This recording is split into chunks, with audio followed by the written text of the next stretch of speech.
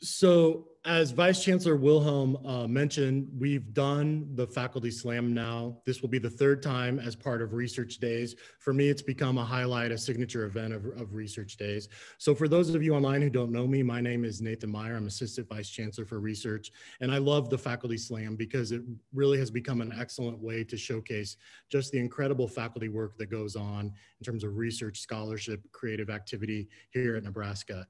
I'm also really privileged this year to have a co-MC, co-MC for the event and my colleague uh, Jocelyn Bosley. Jocelyn is the Assistant Director for Education and Outreach with the Nebraska uh, MRSEC, that's the Materials Research Science and Engineering Center. And she's also UNL's residence, resident SLAM Sherpa. And so Jocelyn has the most experience with slams of, of anyone on our campus. So I just wanted to welcome, help welcome Jocelyn and then offer her uh, the floor for a bit to give a, give a sort of short history and overview about science slams and how they've been introduced here at UNL. So Jocelyn, over to you. Thank you so much, Nathan, and thanks to you all for joining us for this third uh, annual Faculty Slam. Um, the, the genesis of Science Slams on this campus and in this country actually goes back to 2016. And my then boss, Axel Enders, um, really brought this concept over from Germany. So the very first Science Slam was held in Germany in 2006, and they became really popular in Europe. Um, and, and Axel was familiar with them uh, as, a, as a native of Germany, uh, but uh, they, there had been no such event, no event of that kind in the United States before. And so the 2016 UNL Science Slam was the first science slam in the United States. And I am not going to lie to you people, this was kind of a big deal. Uh, so we got a lot of good publicity. We got um, an article in Popular Science was written about our slam saying, you know, this is could be the future of communicating science research. Um, and why is a science slam such a big deal? What is distinguishing about a science slam from something like an elevator pitch competition that you may be familiar with? Um, there are a few, a few things, but the biggest biggest thing, something you already know if you've been reading the promotional materials about this slam, is that the audience decides the winner. And so we don't have specialized judges. It really is up to the slammers to convince you, the audience, that uh, they gave the most compelling slam talk. And the beauty of this is that I can't tell you uh, what to base your vote on um, you know, you will have your own criteria for what you think makes an effective science slam, and it's up to the slammers to figure out what they need to do to, to reach you. I love the title of Slam Sherpa, by the way. I'm definitely going to add that to my email signature line. Um, but so then uh, Nathan asked me, I think it was maybe in 2017, after maybe the second annual Science Slam, which is open to graduate students, undergraduate students, and postdocs, um, hey, do you think this would work uh, with faculty? And I said, yes, I think it would definitely work with faculty because if anything, grad students tend to be a little bit more trepidatious about doing anything that might um, seem outside of the path of this professionalizing course that they're on or might make them look less than a professional scientist. Um, and so I think the grad students who participated tend to be ones who had very supportive faculty. But you know, by the time you're a tenured faculty, what do you all have to lose, right? So thank you uh, for proving me right by uh, all turning out to uh, compete and share your work with us at this third annual Faculty Slam. Thanks, Jocelyn. Appreciate that overview. And, you know, I, what I've been excited about is we've taken this concept of a science slam and extended it across the disciplines. And I think you'll see that reflected in just the, the variety of, of speakers uh, that we'll hear from today. So to sort of set today's lineup, the Office of Research and Economic Development issued a broad call um, a few weeks ago for 60 second video proposals.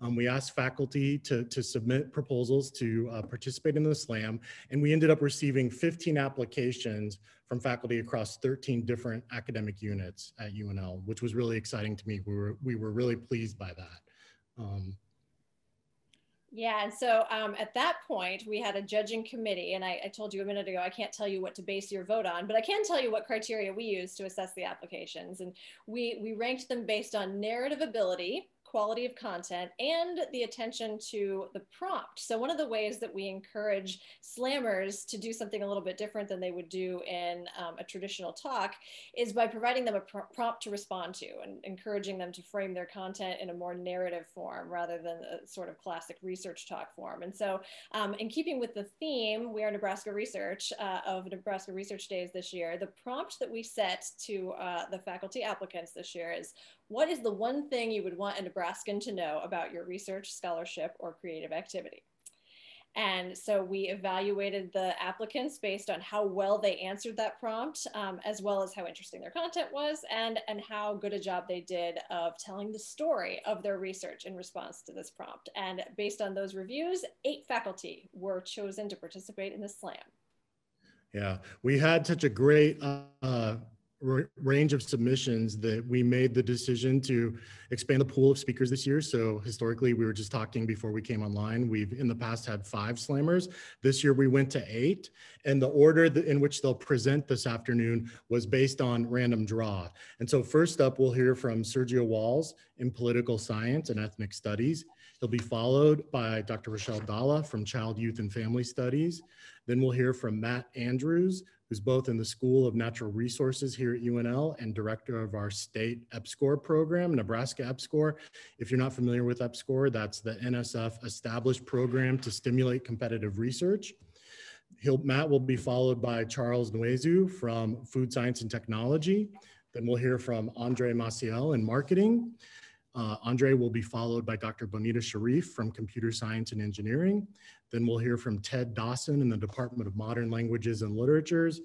And uh, Dr. Wayne Riekhof will be the last slammer, and Wayne is in the School of Biological Sciences. Yes, and so one of the, the, the main rule of science slams, or in this case, research and creative activity slams, is that there aren't any rules governing the presentation format or style, but there is one very important rule that our presenters must adhere to, and that's that they only have five minutes. So we will give the presenters two minute and 30 second warnings. And if anyone is still speaking at the five minute mark, we will mute their mic. So this Zoom platform gives us the power to do that. Although I will tell you, I don't know about last year, but when I co-emceed the, the first slam, uh, having your mic muted is, is fairly soft compared to the punishment that awaited those who ran over at the first faculty slam. Uh, they had to wear the sloth of shame on their head and have their picture taken and it was tweeted out. So um, it was a pretty effective deterrent, I have to say. Only one person person went over. Um, and so uh, this, this is a pretty soft punishment by comparison. But if someone is still talking at the five minute mark, we will mute you. Yeah, and then um, once all eight faculty are done slamming, everyone who's online today will have the opportunity to cast their vote for their favorite slammer and we'll be uh, facilitating the voting using Zoom's poll function.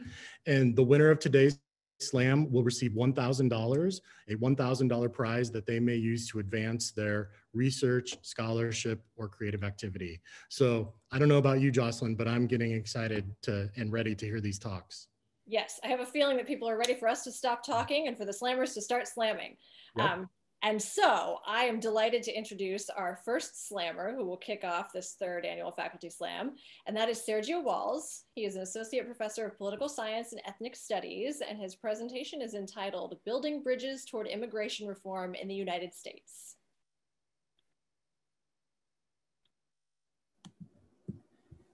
Hi, I'm a public opinion and a political behavior scholar. And what I would like Nebraskans to know about my research agenda is that I believe it has the potential to help get rid of the current congressional gridlock surrounding the issue of immigration reform. Politicians haven't been able to agree on immigration reform for a while now. The last time we saw something important done was under the Reagan administration. As complex as this issue is, a stalemate itself is based on two basic yet fundamentally flawed premises. One, that national security concerns cannot be met while still achieving a humane solution.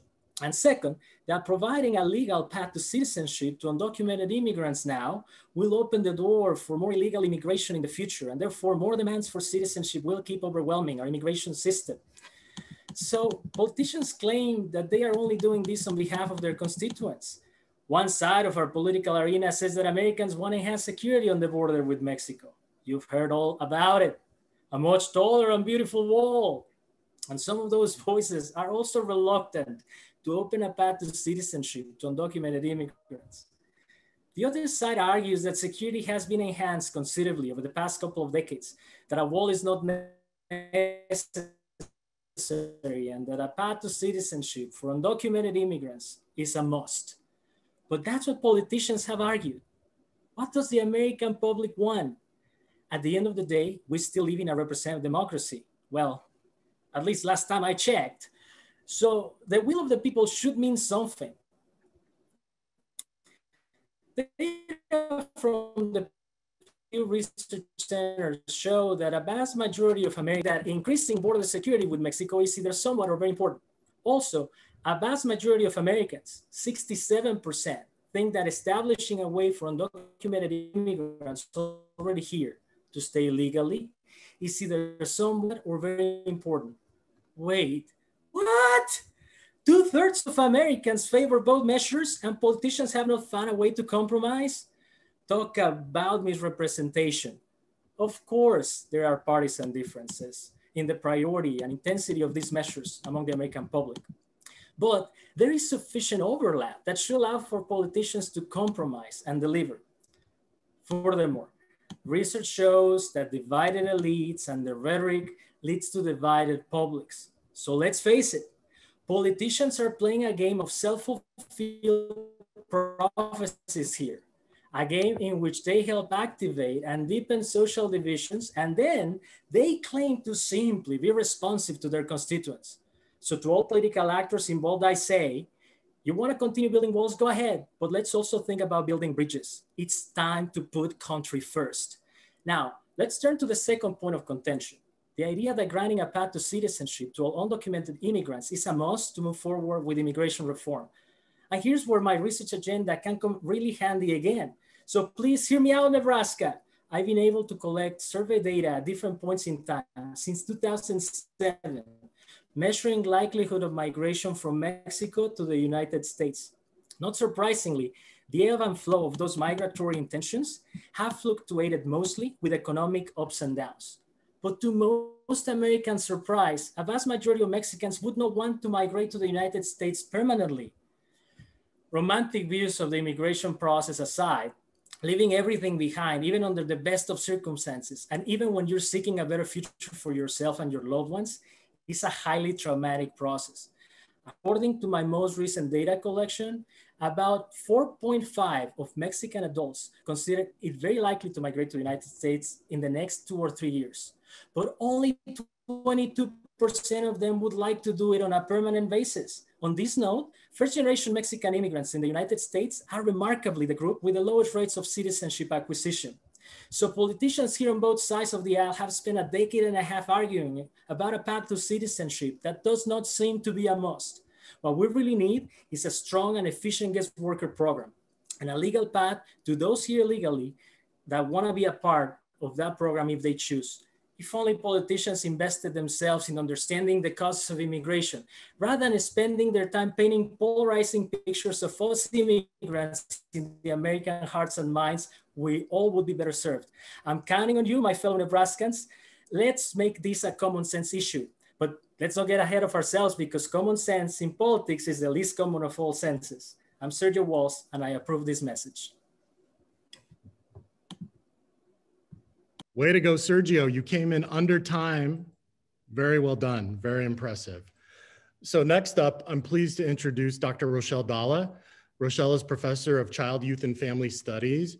And today she's going to present on a topic that I know is very near and dear to her heart that she's been working on quite a bit the last few years, family-based family sex trafficking in India, what Rochelle wants all of Nebraska to know. So Rochelle, take it away. 25 years ago, when collecting my dissertation data with adolescent mothers on the Navajo Reservation, I realized that the real mission behind my work was to give voice to marginalized women. My mission hasn't changed, but my research focuses exclusively now on the contextual dynamics and family relationships of women and girls trafficked into the commercial sex industry. Now, India, as you may know, is a, considered a global hotspot for human trafficking, and especially the trafficking of women and children into the sex trade. So that's where my research is situated.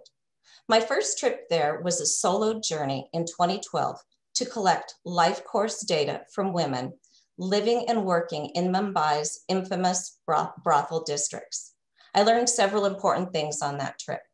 First, all of my participants were exceedingly poor and from very poor families, and all were members of the lowest caste in India, the Dalits, those formerly referred to as untouchable.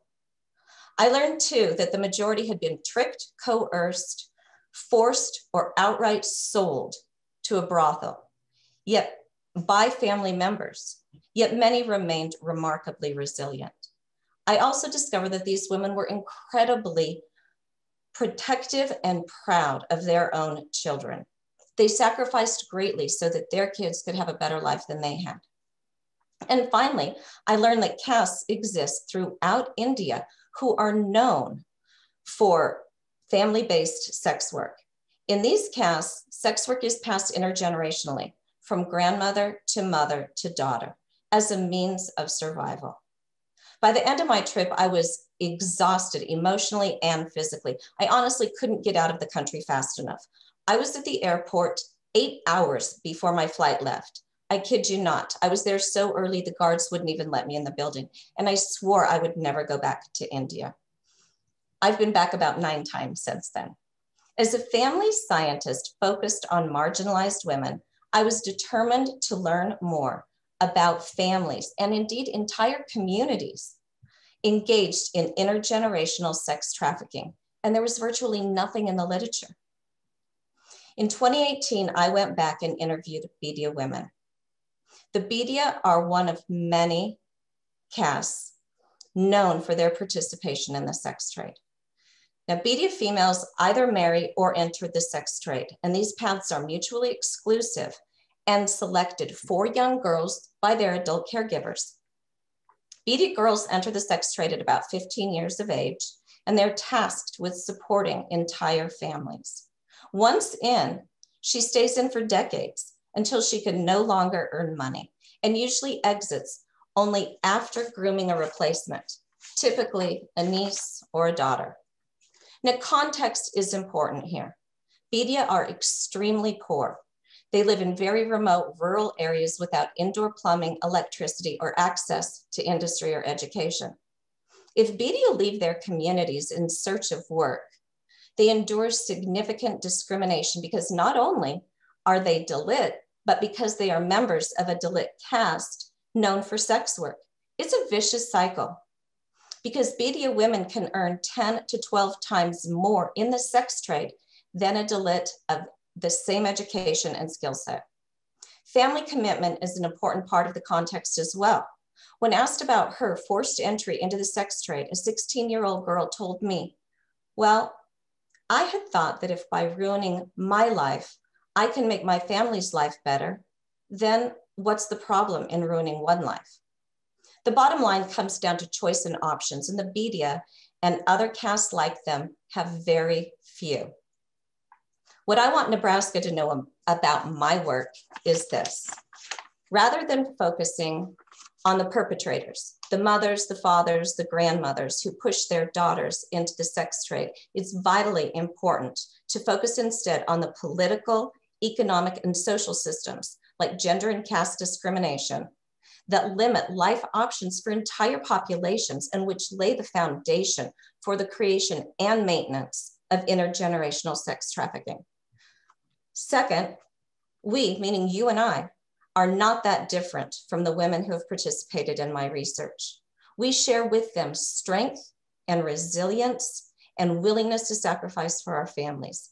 And we especially share the desire for our children to have better lives than we have had and do what is necessary within our means to make that happen. Thank you. Thank you so much, Rochelle. Wow, what a what a harrowing, fascinating, deeply affecting story. Um, and thank you for sharing it with us. I want to let you all know if you've been to one of the UNL Science Slams before, um, where we feature graduate students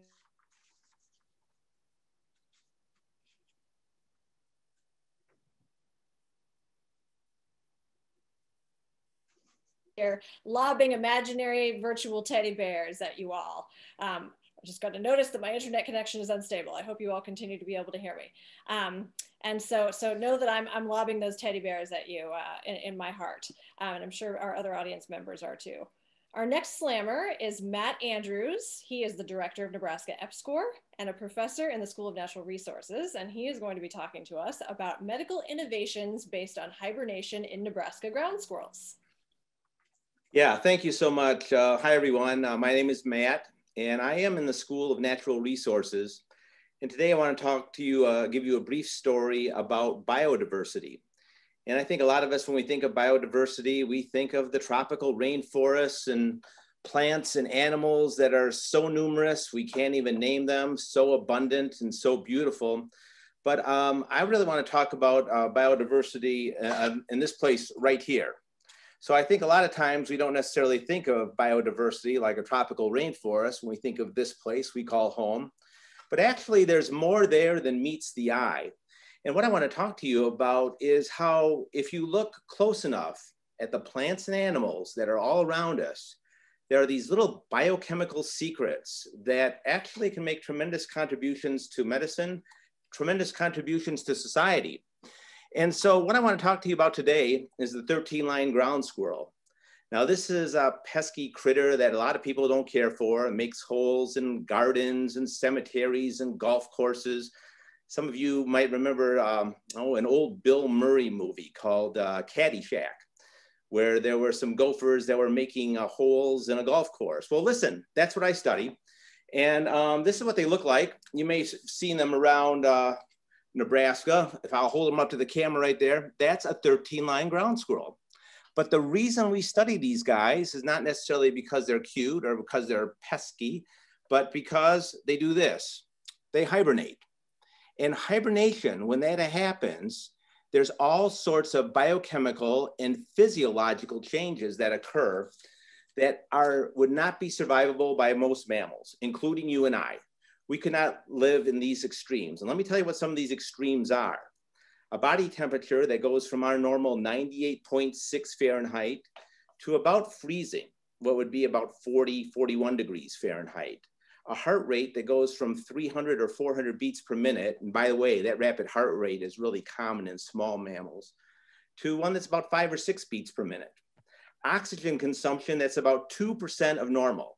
Now, any one of those things, the low body temperature, which would be hypothermia, the slow heart rate, which would be terrible bradycardia and a heart attack, uh, the oxygen consumption, which would instantly give us a stroke, those would all be certain death for you and I. But these animals survive it fine.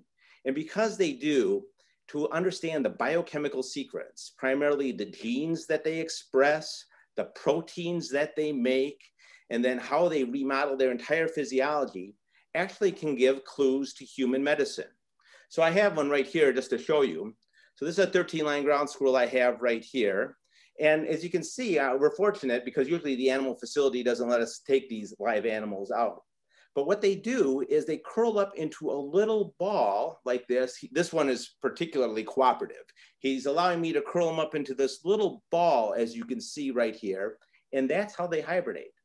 Now, in terms of those major physiological changes I was mentioning, those can give rise to things that can be potential therapies like a therapy for hemorrhagic shock that we've developed in my laboratory.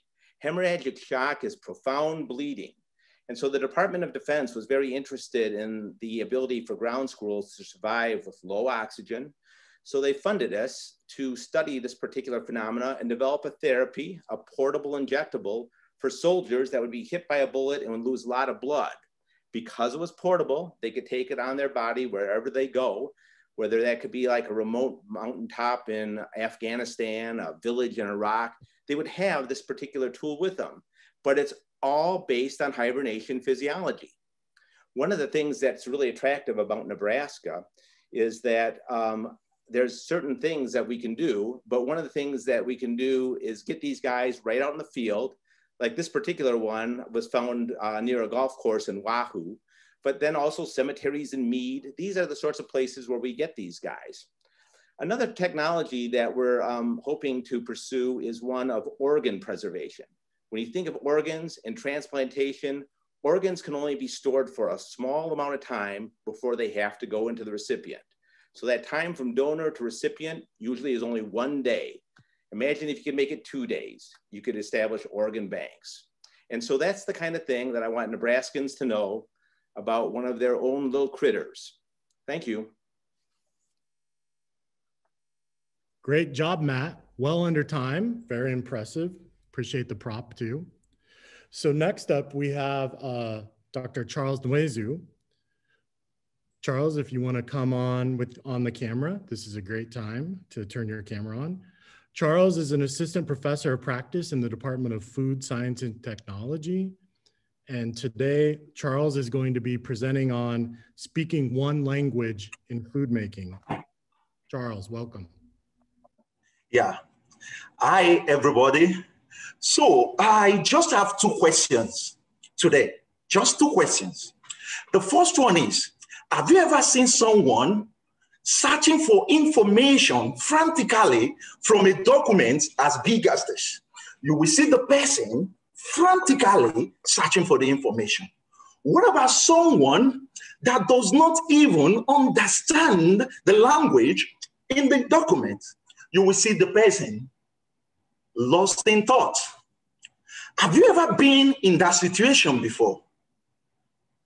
Okay, let's leave this question we will get back to it later on. My second question is, and the answer is either yes or no. Have you ever been in a situation when you contemplate of firing a worker working directly under you? Maybe for you, it is yes, it is no. But for me, it is yes. Many years.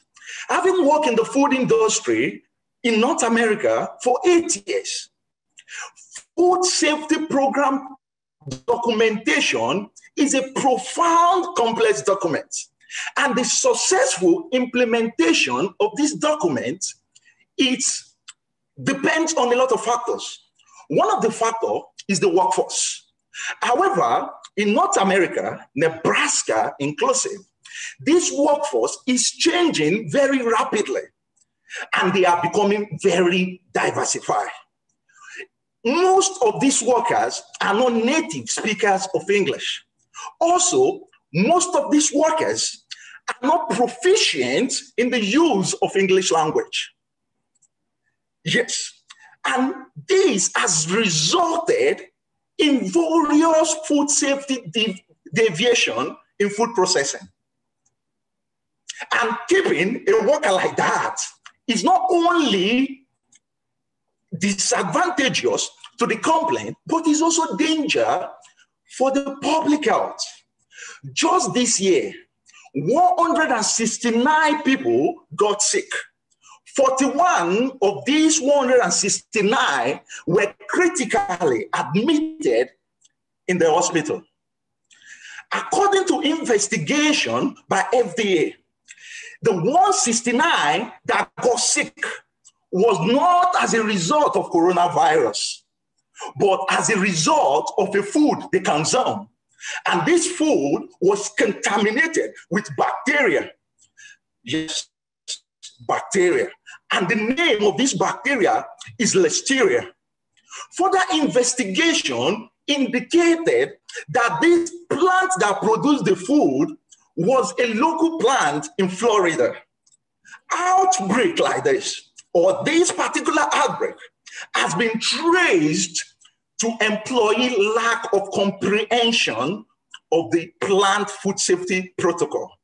This has always been a, a, a, a, familiar problem in the food industry.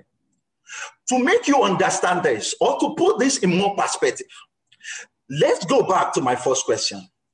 The first problem is most time, the food safety program document is very complex and complicated, filled with a lot of science jargons and government regulation. The second problem is most of these employees do not understand the language in this document. So the success implementation of this document Damien. is in jeopardy.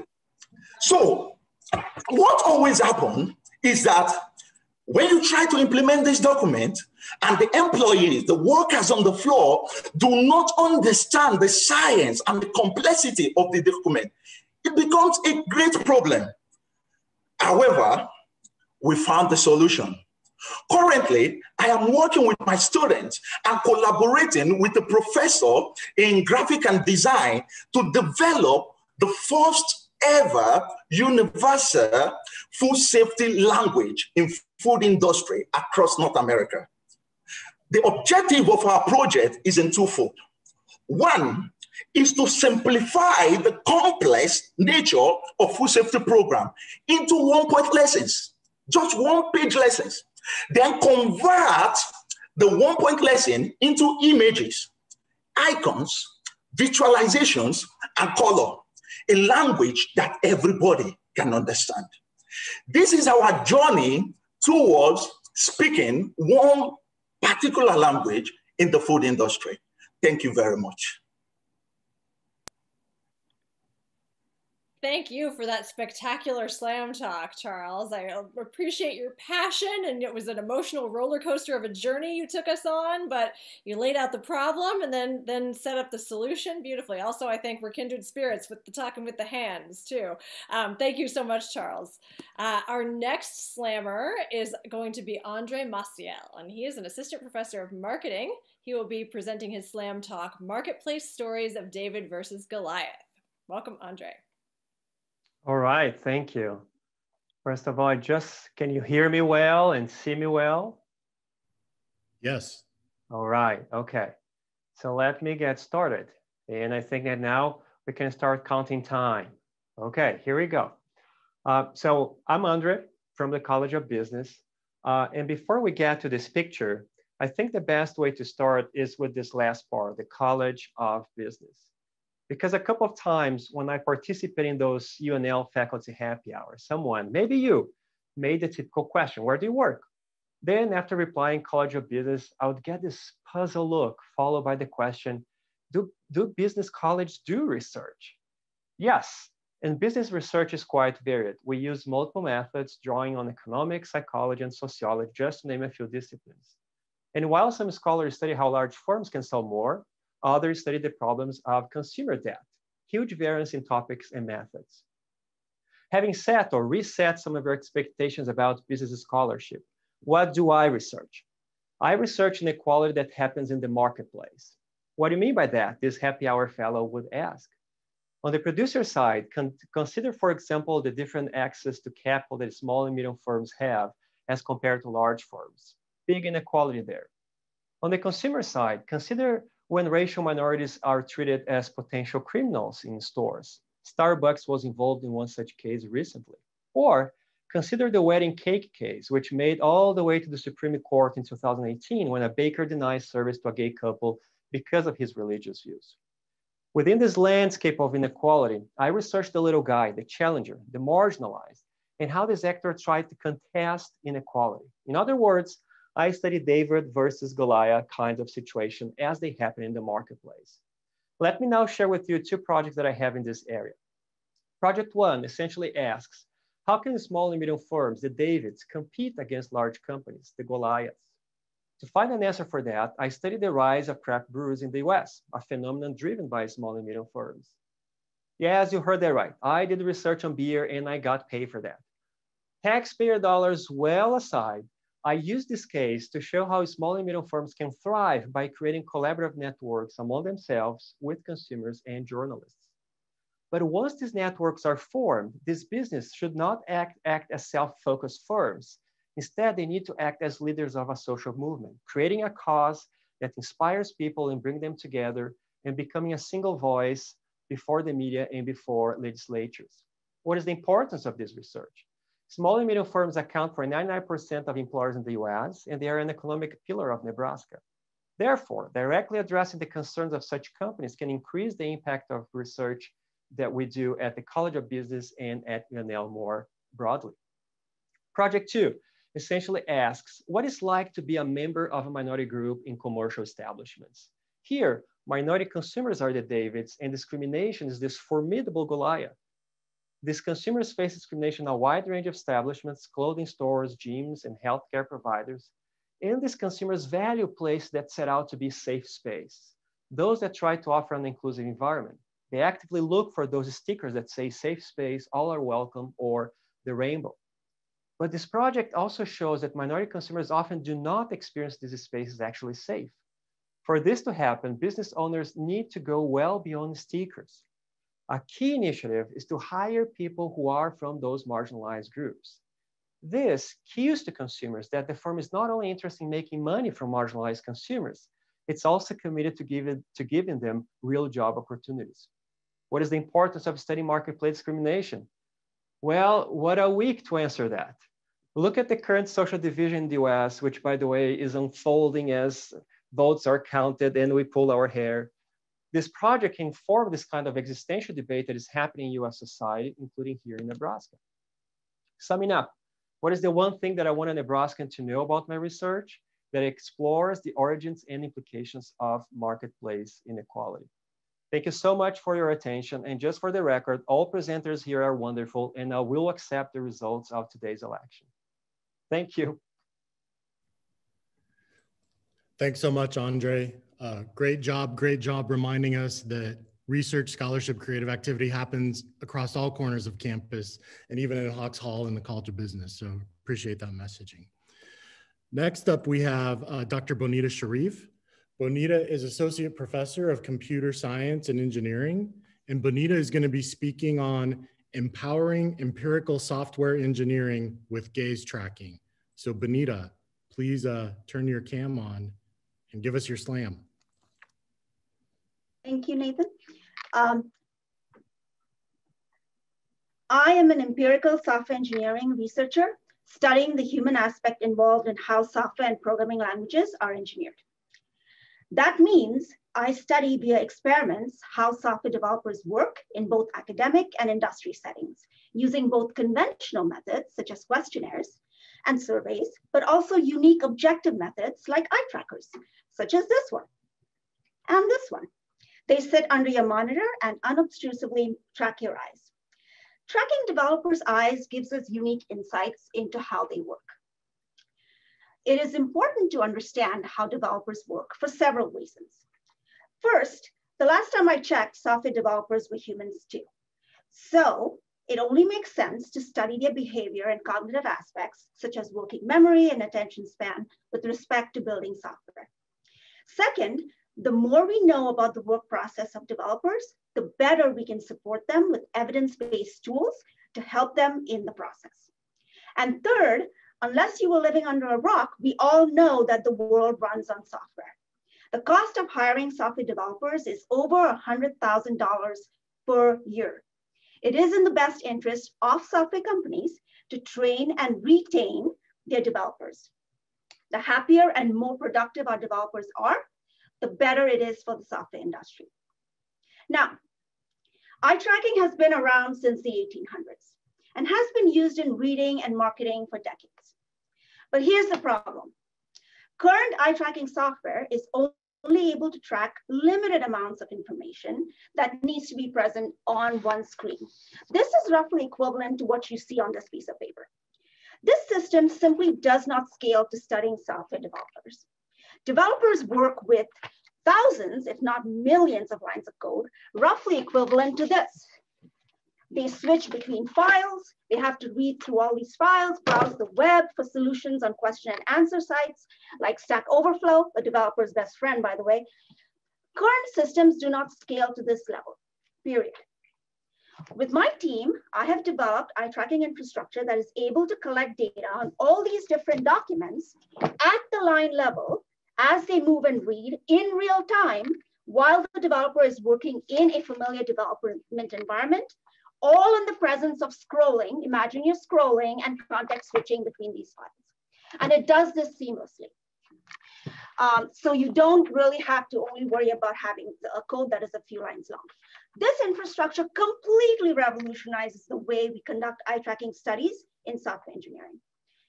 With this infrastructure in place, specifically, I try to figure out if we can use the eye movement patterns to uncover any hidden insights about the developers the code itself, or the task being studied. For example, we are currently working on an expertise prediction model based on the eye movement data of developers working on bug fixing tasks. In another project, we are trying to externalize the mental model of developers solely based on their eye movement patterns.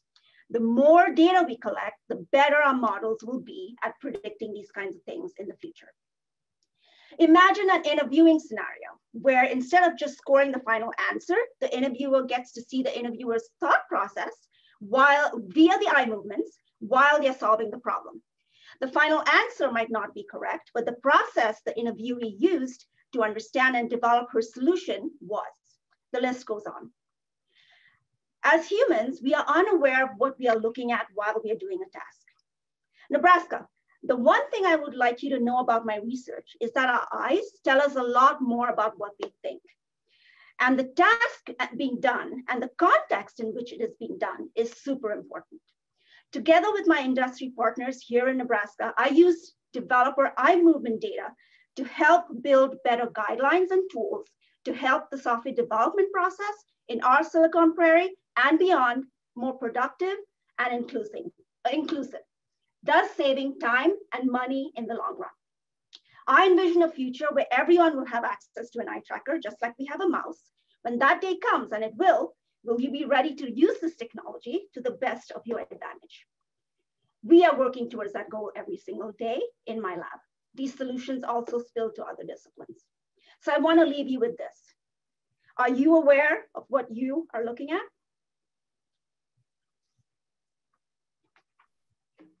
Ooh, I love it. Ending with a challenge and a question. That's fantastic. Thank you so much, Bonita. I'm also loving the use of props, by the way, by several of our slammers. Very effective, very nice.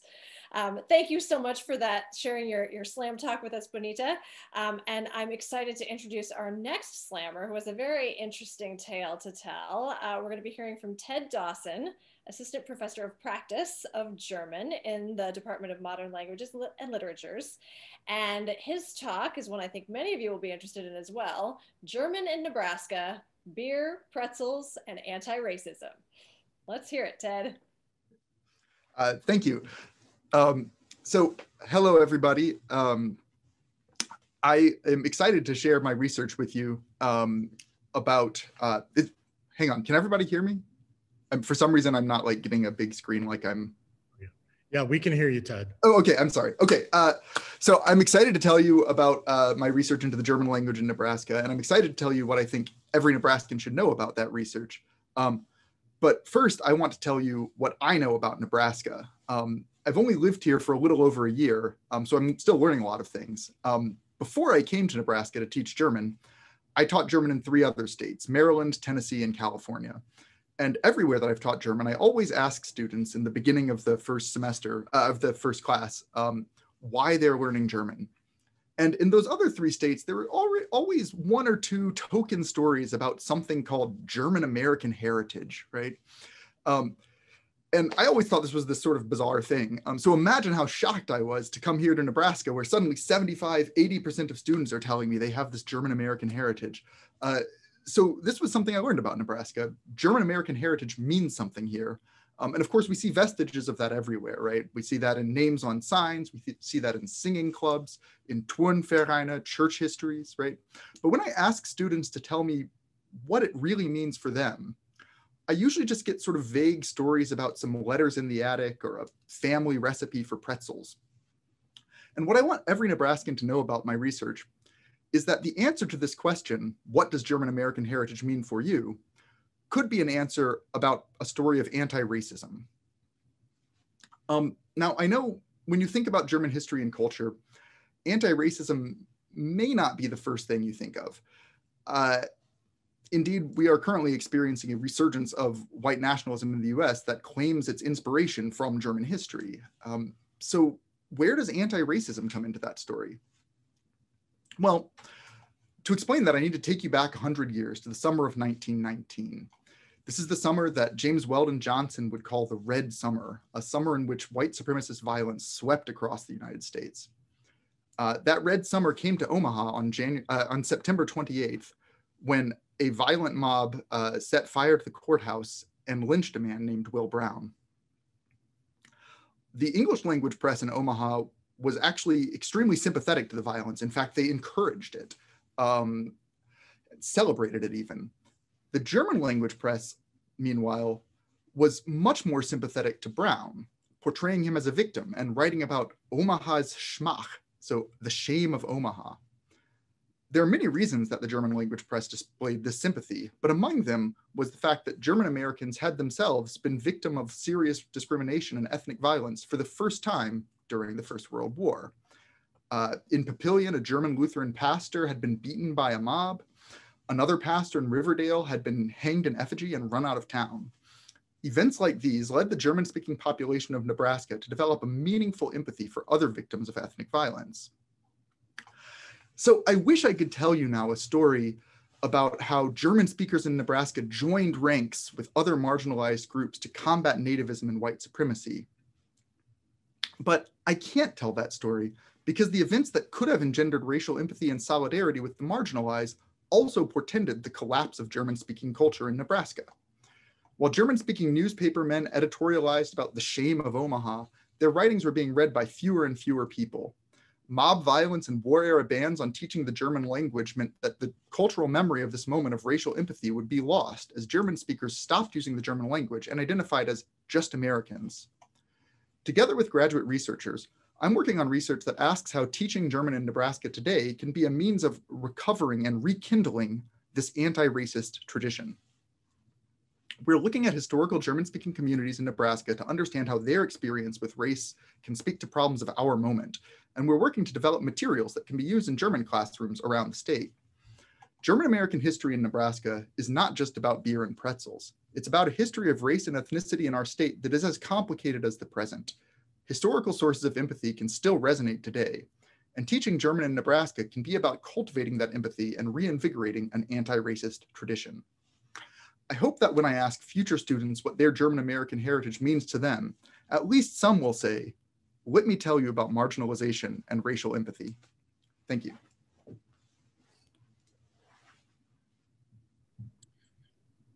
Thanks so much, Ted. As a Nebraskan with a bit of German heritage, I appreciate uh, your slam talk very much. I'm also happy to uh, introduce our final slammer of the day, Dr. Wayne Riekhof. Wayne is associate professor in the School of Biological Sciences. And Wayne is going to be uh, presenting a talk that he's entitled, Hey, You Smell Nice. Want to swap nutrients? How microbes communicate with each other to connect, cooperate, and succeed. So Wayne, over to you. Okay, thanks, Nathan. And, and I'll just say what a great uh, intro or lead into my talk because A, I'm, uh, you can tell by my last name that I'm a German, of German heritage living in Nebraska and I'm going to talk about language. Okay. So um, the one thing that I want you to know about my research program, so I'm in the School of Biological Sciences. My lab works on a number of different topics. Can you guys hear me okay? We good? Hello? Perfect, Wayne. Okay. um, what I want you to know is that bacteria and fungi and algae can live together and talk to each other so that they coordinate their activities to do things that none of them could do alone. Um, and we don't normally think of microbes as having language, but I'm going to tell you about the, the languages that my guys speak. Okay, so for example, I have three Petri dishes here. And so the black stuff here is a black yeast that was isolated from a rock. Uh, the green stuff here is a green alga. And the pink stuff here is a bacterium called Methylobacterium. Now we give, we give all of our bugs nicknames. So this guy's crusty, this is Pinky, and this is greeny. Okay, that's how I'm going to refer to him in the talk. So now, why do they all live together? Um, our best guess is that crusty, Pinky, and greeny uh, uh, live, uh, they, they form a partnership that allows them to live in a, a rather extreme environment, like on the surface of a rock um, or uh, uh, other areas, okay? um, and so based on what we know about the biology of the individual members of this community, um, we think Greenie is using the power of sunlight to fix carbon dioxide and make sugar, photosynthesis. Um, Pinky is a nitrogen fixing bacteria. So it can take um, it can take atmospheric nitrogen, convert it to a form that can be used for amino acid and, and nucleic acid biosynthesis. And uh, holds everybody together, adheres them to the, to the surface uh, that they're sticking to, and mines that surface for nutrients like iron, phosphate, etc. Okay, so uh, so each of them specializes in making one thing or harvesting one thing. And in effect, they set up a, a little economic system where they trade it with each other. But the big question is how do they coordinate their activities? How do they um, come together and know that they're next to someone who has something that they want or needs something that they have? And so uh, I want to introduce the core concept, my one thing, uh, and that's called quorum sensing. Okay, so this is a well-known phenomenon in microbiology. I told you that these guys are talking to each other to coordinate their economies, but I'm showing you each of these guys growing separately on the, the Petri dishes. Okay, and one of the things that we know about bacteria and fungi is that they can ask themselves the question, am I alone or are there other others like me around? Okay, because just like hu humans and, and, other animals, bacteria and, and microbes behave differently when there's a big mass of them versus when they're all by themselves. And so how do they gauge that? So the analogy I'll use is just your voice, okay? Most of you are sitting in an office or maybe your home office or with a few other people and it's pretty quiet. So you know there's not many people around. That's different than being in a room with a bunch of people having conversations or being in a football stadium on game day. You can kind of gauge the size of the population based on uh, the volume of noise from everyone's voice. Now, bacteria don't have uh, vocal cords and ears the way we do, but the, the analogy um, is that they use small molecules. They can make and secrete and perceive small molecules into their environment. We call those quorum sensing mediators, meaning that they secrete them and they use that as their gauge of population size. And so you can think of this to, to use a different analogy as their little hello, my name is card. So if we were not virtual, if we were all together, we'd have these little name badges, right? And this is Pinky's calling card. This is a, a molecule called a homoserine lactone. Um, this might be Krusty's hello, my name is card. So this is a molecule called farnesol, which we know some fungi use to gauge their population sizes. And this is the only one we actually have evidence so, for so far that we've published papers on. This is a molecule called indole acetic acid, which we know that chlorella secretes into its environment to gauge its population size.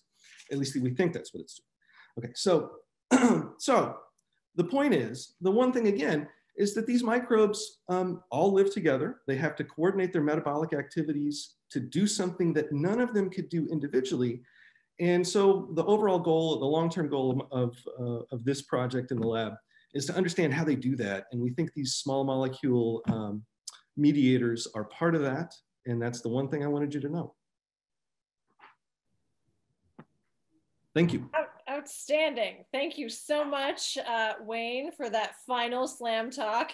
Here's what's going to happen now, everybody. The power is now in the hands of the audience members. So Lisa is going to launch the poll in Zoom, and you will be you will have the opportunity to vote for your favorite slammer. You get one vote. There is no electoral college.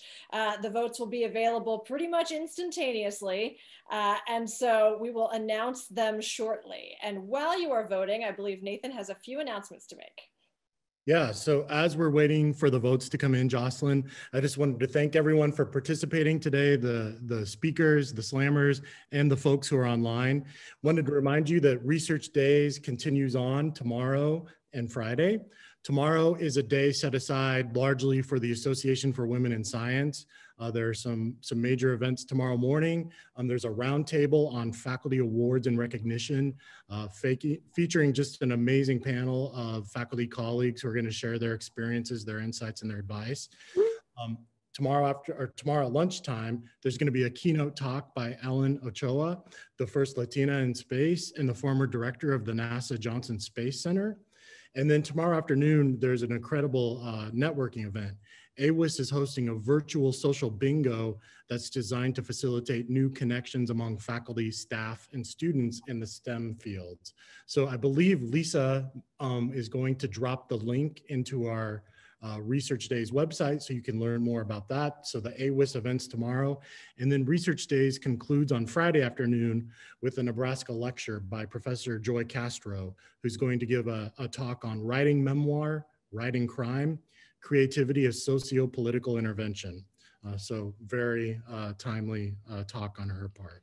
So please check the ORED website and social media channels for more detail, and we'll get that uh, link Becky dropped the link actually uh, here into our chat. Thank you for that, Becky.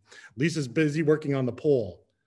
Yes, it looks like uh, ninety percent of you have voted. Ninety percent of the ballots have been counted. You have a few more seconds uh, to, to deliberate and drop your vote.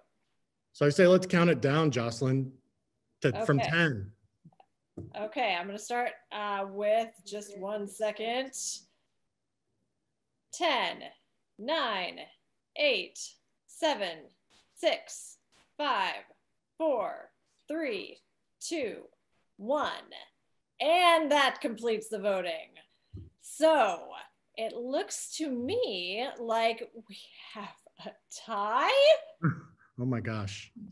we didn't talk about what to do in the event of a tie. This has never happened before. What do we do? Do we have a revote? Do, do, can, we, can we give them both money? What do we do? Runoff election is being suggested in the chat. Can we do that, Lisa? Do you want to run another poll? Okay, so yes, so we will have a tie-breaking vote for the folks who got the two top votes. Who, who will have a tie-breaking vote? So I'm just looking here. So give Lisa a second to launch a new poll. Oh, okay, okay, very good, very good. So I can tell you that uh, the the two top vote getters, and this, it was very evenly split. There there were some uh, very narrow margins here, but the tie is between Rochelle Dalla for her talk on family-based sex trafficking in India, and Andre Maciel for his story uh, about marketplace David and Goliath. So those are the two that we're going to be choosing between. Okay, so I guess, you know, voting uncertainty continues. We're on the razor's edge. Don't go anywhere. Your work is not done yet. Thousand dollars and the eternal glory of the slam title hangs in the balance here. I have to say that I wouldn't mind sharing the money with the, the other winner. I wouldn't, e- I wouldn't either. So that's that's a possible deal. We both share and we both get to claim the winning rights, the bragging rights. How about that? Okay, I'm seeing share. Share. Yeah, well, that's good because actually the, the It's tie breaking vote is not really breaking the tie. It's just continuing to tie up some more. Okay, so should we call it a tie? Let's call it a tie. We have co-winners. All right. Woohoo! That's Congratulations, fantastic. Rochelle. Congratulations to you as well. So thanks, you Rochelle and Andre, both. for being so collegial and helping to problem solve on the fly. Yes, I have to I have to share well, with you right. And um, yeah, yeah, it's it, this feedback is so helpful, and I, I appreciate. Okay, I don't know who that I have to share with you that before uh, we, we started the slam, all of the presenters were talking about how nervous they were. Um, and, and they didn't know why. It's just that, you know, and I think we all have a lot of anxiety, generalized anxiety right now, probably. But but I do, it's an unfamiliar format for a lot of people, the time limit. And of course, everything being, being via Zoom adds another layer of complexity. But everybody was really nervous. And I would never have imagined that you all hadn't given a thousand slam talks before. You're such professionals. I learned so much. This was fantastic. And uh, congratulations to everyone, but particularly our two winners, Andre and Rochelle. Yeah, so I just say before folks exit the Zoom room, feel free to turn on your cameras, everyone, and let's give these uh, presenters a round of applause. They deserve it. Great work. Yeah. Thank you. And we, we solved a potential conflict with a lot of civility. Yeah. Makes so much sense to me. I'm glad we were able to do that. Thank you for suggesting. Uh, okay. All right. Great to see everyone. Thanks again. Congratulations, Andre and Rochelle. Thanks to all the presenters. Thanks to all of you for hanging out. Uh, like I said, Research Days, it continues. Hope to see you uh, tomorrow at some of the AWIS events. And just thanks for all you do to advance research, scholarship, and creativity at Nebraska. Um, we're so proud of everything our faculty do. And this was just a great way to shine a light on it today. So thanks so much. We'll see you in a Zoom room soon. Bye, everyone.